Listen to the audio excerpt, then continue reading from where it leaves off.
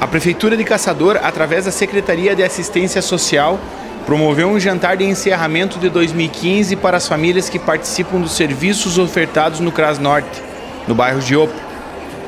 Mais de 350 pessoas foram recepcionadas no restaurante de Fratelli.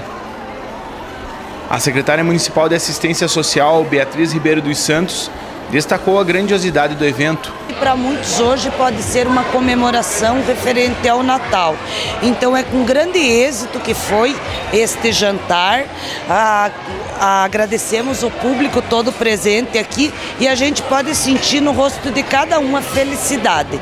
Sabemos que estamos, enquanto equipe, fazendo um ótimo trabalho junto a essas pessoas que, com certeza, para muitos hoje pode ser a primeira vez que entraram aqui no Di Fratelli. O evento aconteceu a exemplo do que ocorreu com as famílias do Cras Martelo dias antes.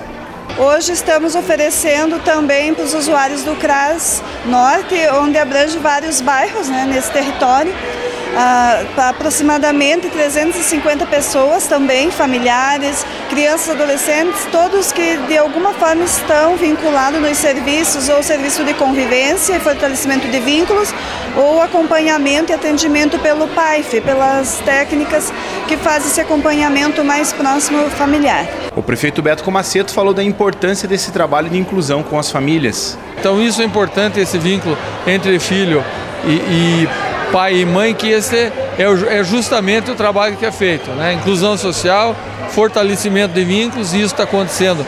Então, aqui está acontecendo no Martelo essa participação maciça entre pais, escola, é, a parte do executivo e principalmente essa área social que era uma área muito carente. Ana Paula Souza, do CRAS Norte, destacou o objetivo do encontro.